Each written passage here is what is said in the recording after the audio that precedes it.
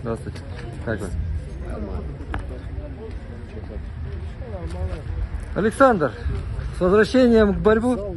Сейчас до 23 выскочу, паспорт сделал. Ну, я, не- я к тому, давно не видел вас, честно.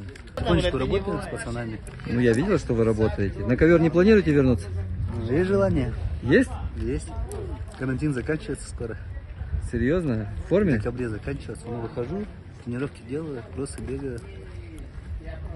Я Желание думаю, есть, посмотрим что.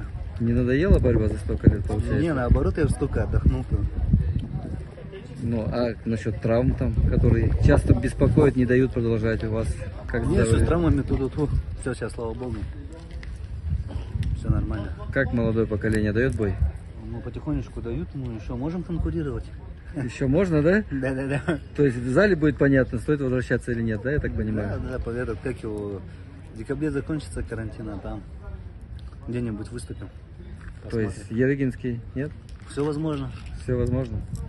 Все, семья, все хорошо. Да, все отлично, спасибо. Условия жизни, вот без, без борьбы, как у вас? Все Да хватает? ничего, тоже там везде попробовал себя, там, сям. И не тренировался, ну, форму всегда поддерживал. Где-то в футбол играл, в зал тренажерку ходил. И на ковер тоже. Медаль будет? Здесь? Да, у вас. Ну, надеемся. Золотая? На, на- настраиваемся только на золото. Правильно, правильно. Все, спасибо, удачи. Спасибо.